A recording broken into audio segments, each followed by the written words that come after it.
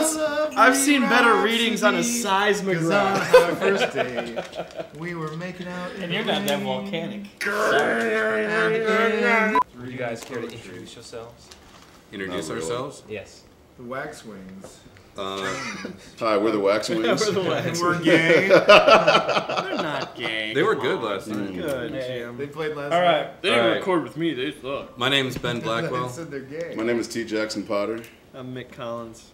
I'm Careful now. My name is Jim Diamond. I'm the homosexual of the band. My main influences are the Pet Shop Boys. and the psychedelic furs. There's more good bands per capita in Detroit. No, you're not even per capita. There's more good bands in Detroit than there is in any other major motherfucking city in the United States Yeah, of America. there's a lot of That's all bad there is bands. To it. But there's still a lot of shitty when we go on too. tour and bands open up for us, boy, do most of them suck.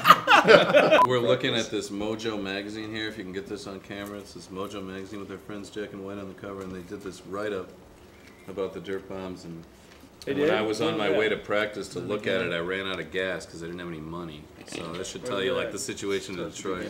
We've probably done more interviews than, oh, than Oh, people are. in our audiences. you Check it out. There's the Dirtbombs right there. Looking good. Yeah. Which one's which? I'm the blackest one.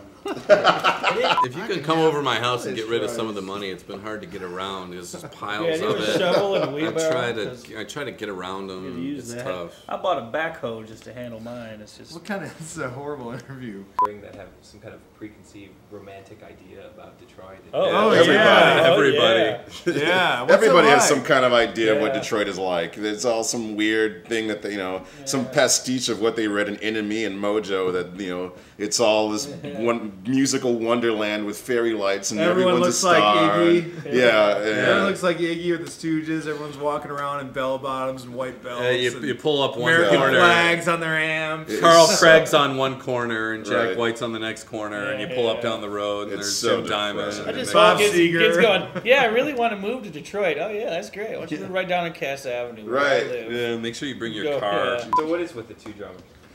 More, more beats. Ben and Yeah. me. It's more. It's just, I mean, Stop. you Bigger- know, bigger would you beat. would you rather have sex with one woman or Huh? two women? Yeah. And That's then the worst analogy. I've no, ever it's heard. the perfect analogy. Okay, go with it then. I prefer to think of the kind of Joey. You ever read Joey magazine online? sort of the Nambla analogy. You know, you've got the older gentleman, oh the older experienced gentleman helping the young buck on his way. That's the, kind of what it is. It's sort of that, you know, struggle, that sort of sexual tension makes it work. Two men. yeah, actually, I think I'm gonna go with Ben's now as another. It's like Grandpa Pop. Plus, every other motherfucker in this town's a rock star or thinks they are. So, Yeah, yeah, we're, they're a dime a dozen. yeah. yeah. Fucking can't throw a rock without hitting a rock star. So what makes, rock star with a capital rock star. R. Fucking rock stars. what makes the Dirtbombs the best rock band in Detroit? Because we have two Volume. drummers.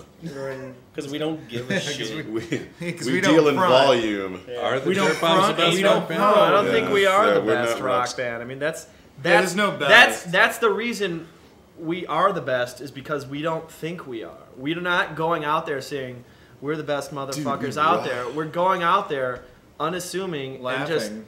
Yeah, laughing and Yeah, we go we don't take any of this stuff seriously. we go out and we play. Obviously, I we mean, go you've been out. trying to interview us for an hour, and look at what you got. How much of this is going to turn up on the cutting room floor? All of it.